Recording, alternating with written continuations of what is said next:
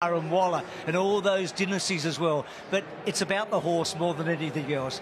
This is the day that a racehorse goes from good to great, and most of them only get one chance. So this is their moment. This is their opportunity to become a legend in the sport. Here's Matt Hill. And the field is set.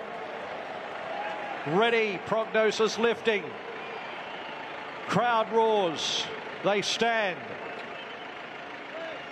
Racing in the Cox Plate.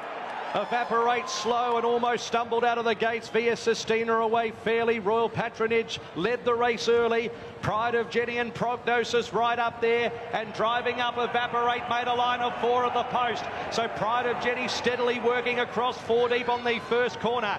They were followed by Mr. Brightside. Docklands the inside. Two and a half Via Sistina, Kovalica and Broadsiding last. So Royal Patronage led 1600 to go. Pride of Jenni sits outside of it for now. Prognosis a length and a quarter away. Third from Evaporate who's kept three wide. A length and a half Mr. Brightside. Docklands Via Sistina.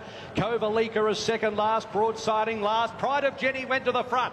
Bottom corner, 1300 to go. And Pride of Jenni's put up three lengths now from Prognosis second. Royal Patronage passed by Evaporate on that corner. They were followed by Mr. Brightside, a length and a half to Docklands. Then Via Sistina. Next in the field, Kovalica and broadsiding at halfway. Pride of Jenni is the leader in the Cox Plate by about two and a half to Prognosis, keeping the mare in his sights. A length and three quarters away, Evaporate. Then came Royal Patronage and Mr. Brightside as they run towards the 700 metres. Via Sistina, seven off the lead at least from Docklands, broadsiding Kovalica. So it's Pride of Jenni, 600 metres to go. A length and a half to Prognosis, who's nice and close. They're two lengths in front of Via Sistina, who's coming into it. Mr. Brightside's coming with her. And then came Royal Patronage. Pride of Jenni grabbed by Prognosis, but Via Sistina now pushes the button on the outside and goes up and takes the lead. Via Sistina, 300 metres to go, puts up two lengths. Prognosis, Docklands, Mr. Brightside, and then came Royal Patronage. But Via Sistina storms away with 150 to go.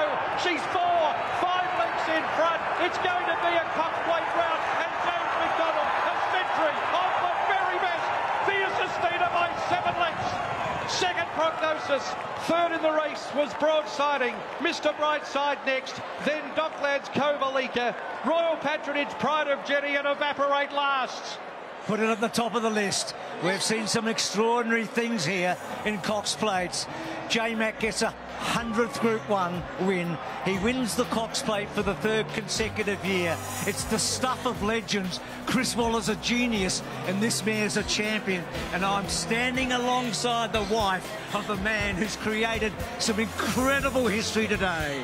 We just won the Cox Plate, baby! You better get down there, Katie, I reckon, don't you? Off you go.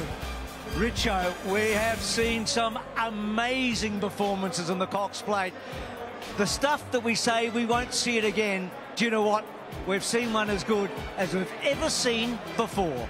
Well, Bruce, I don't want to compare her, but that was Winx-like, wasn't it? The way that she demolished Hartnell that year.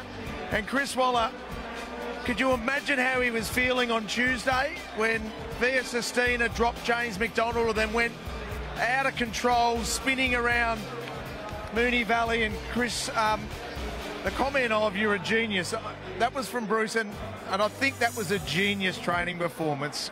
Gosh, I'm so happy for you. Leave me out of it. Yeah. Well, we can't leave you out of it because you had to go to Plan B with this girl after Tuesday morning. We've been, yeah, we've done these things before, I guess. So uh, thanks, James.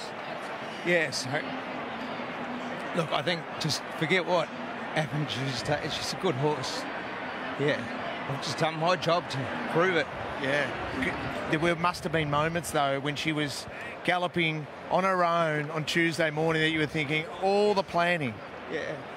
has gone astray. The truth is, when she got up and James got up, the rest of it didn't care. Yeah. Yeah. Horse, horse and James equally, just so important. They put the Cox plates on every year. If she didn't make it, who cares? she's alive and James is alive. Yeah. And that's what it came down to. So then you had to start to change your planning. You came back Thursday morning Did you just just poke around? Yeah, we did. Um, just to get a confidence up, our, our vet down here, Matt, he's, he actually floated the idea, and I thought, gee, that's a pretty good idea.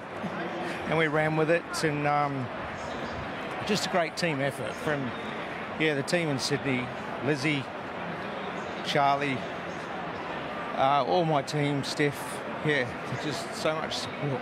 Keep walking because we're going to cause a bit of a logjam here right behind us, and that'll allow people to, to get through, and you'll have a chance to go and see Mr. Zhang and Yulong have invested an extraordinary amount of money in yeah, this girl. Yeah, they have, and um, this is the pinnacle race. Thank you. Um, yeah, and they've put a lot in, and they deserve to be getting what they're getting back. And yeah, it's great for the whole industry um, and the world as well. I think everybody's watching Australian racing, and we're all proud of it. In your heart of hearts, you thought she could win. Did you really think she could win by that far? No, no, I didn't. I didn't think about it. Go and interview James. Like, well done, mate. I'm really.